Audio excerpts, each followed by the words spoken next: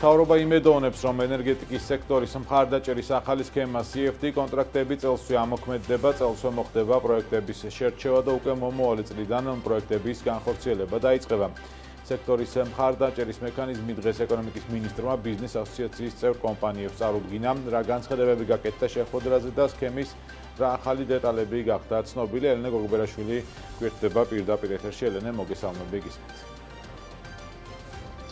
მოგესალმებით ბექა დიახ დღეს არის ყველაზე მასშტაბური ფართო მასშტაბიანი შეხვედრა მას შემდეგ რაც მთავრობამ დაანონსა რომ ენერგეტიკის დარგში ტემპის დაჩქარებას ისინი CFD-ს მექანიზმის გამოყენებით გეგმავენ. დღევანდელ შეხვედრაზე დაახლოებით 2 საათზე მეტის განმავლობაში მიმდინარეობდა შეხვედრა და მათ შორის ბიზნეს სექტორის წარმომადგენლებს აქ საშუალება ჰქონდათ უფრო დეტალურად მიეღოთ ინფორმაცია სამინისტროს წარმომადგენლებისგან თუ რას გულისხმობს CFD მექანიზმი. მაყურებელს შევახ ახსენებ, რომ მთავრობას მომდევნო 3 წლის განმავლობაში ამ მექანიზმის გამოყენებით დაგეგმილი აქვს, რომ 1500 მეგავატი დადგმული სიმძლავრე შეემატება ქვეყნის სიმძლავრეებს, ხოლო განსახორციელებელი ინვესტიციის მოცულობა იქნება 3 მილიარდი ლარი. როგორც დღევანდელ შეხვედრაზე გახდა ცნობილი, ეს მექანიზმი შეეხება მხოლოდ ისეთ პროექტებს, რომლებიც ტექნიკურ-ეკონომიკური კვლევის ფაზაშია, რომელ მიქაუტაძე, რომელიც ეკონომიკის სამინისტროში ენერგეტიკის მიმართულებას ხელმძღვანელობს, ამბობს, რომ აუქციონები გამოცხადდა ცხადდება კონკრეტულ სიმძლავრეებზე, ხოლო ამ სიმძლავრეებზე კონკრეტული ფასის წარმოქმნის შემდეგ სახელმწიფოსა და დეველოპერ კომპანიას შორის გაფორმდება ხელშეკრულება ამ ხელშეკრულების ფარგლებში თუ საბაზრო ფასსა და ხელშეკრულებით გათვალისწინებულ ფასს შორის იქნება სხვაობა, ამ სხვაობას სახელმწიფო გადაუხდის დეველოპერულ კომპანიას. რომელ მიქაუტაძის ინფორმაციით თავრობის დადგენილება იმოქმედებს 2025 წლამდე და როგორც მან განმარტა 2025 წელი წელი არის დაჩადებული, იმიტომ რომ სწორედ მომდევნო 3 წლის განმავლობაში არის დაგეგმილი ახალი ენერგო პროექტების განხორციელება.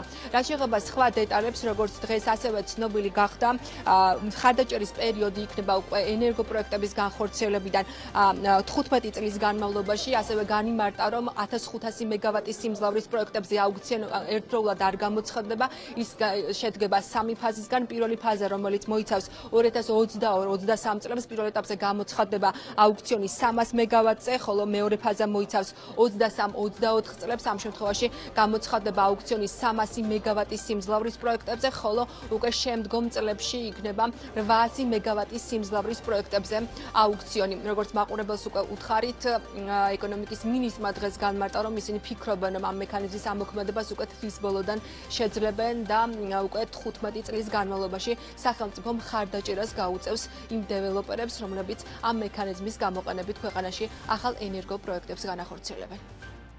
ერთი მექანიზმი დაეხმარება კერძო სექტორს, რომ მობილიზება მოახდინოს ფინანსების უკვე ფინანსური ინსტიტუტებიდან. ჩვენ იმედი გვაქვს, რომ ეს მექანიზმი ამოქმედება მიმდინარე წელსვე, მიმდინარე წელსვე მოხდება კონკურენტულ პირობებში პროექტების შერჩევა და უკვე მომავალი წლიდან პროექტების განხორციელება დაიწყება საკმაოდ სწრაფი ტემპით. ეს არის ჩვენი მთავარი ამოცანა. 15 წლის განმავლობაში სახელმწიფო იღებს ვალდებულებას, რომ აუქციონში გამარჯვებულ ფასად შეისყიდოს ელექტროენერგია გარანტირებულ შესაძლებლად 45 დღე იქნება აუქციონის მოქმედების ვადა. შესაბამისად, ყოველას შეიძლება შემოსვლა აუქციონში, ვისაც გააჩნია პროექტი, რომელიც არის მშენებლობის ეტაპამდე. ახალი მხარდაჭერის სქემა გულისხმობს მხოლოდ იმ პროექტების მხარდაჭერას, რომელიც ვერ ვითარდება, რომელსაც ჭირდება რაღაცა დამატებითი სტიმული, რომ მოხდეს მისი განვითარება. პრეზენტაციის შემდეგ უკვე შეხვედრა კითხვა-პასუხის რეჟიმში გამართა, თუმცა მედიის წარმომადგენლებს ჩვენ არ ქონია შესაძლებლობა მოგვესმინა უშუალოდ რა კითხვები აქვთ კერძო სექტორის წარმომადგენლებს მას შემდეგ, რაც ამ მექანიზმის შესახებ დეტალური ინფორმაცია მოისმინეს სამინისტროს წარმომადგენლებისგან. შეხვედრა სულ რამდენიმე წუთის წინ დასრულდა, შესაბამისად ჩვენ გაცილებით მეტ ინფორმაციის მიღება ბიზნესისგან მოგვეცემა სწორედ ამის შემდეგ, რაც შეეხება მათ კითხვებს, ჩვენ საშუალება გქონდათ რამდენიმე წუთის წინ ჩაგვეწერა და მათი ნაწილი ისინი ჩვენთან საუბარში განმარტავენ რომ ძირითადი პრინციპი რაც არის ამ მექანიზმის შეჯიბრებითობის პრინციპი ასევე გარანტია ინვესტორის რომ ის გარანტირებულ შემოსავალს მიიღებს პროექტების განხორციელების შემდეგ ეს მიღწეულია თუმცა კვლავ რჩება იმის რესურსი რომ სამომავლოდ ეს პროექტი კიდევ უფრო დაიხვეწოს ყველაფრის ღირებულება, რაც ეხება ესეთ პროექტებს 20-30%-ით არის გაზრდილი ყველგან. სოფლიოს ნებისმიერ წერტილში ჩვენთანაც ესე მოხდა და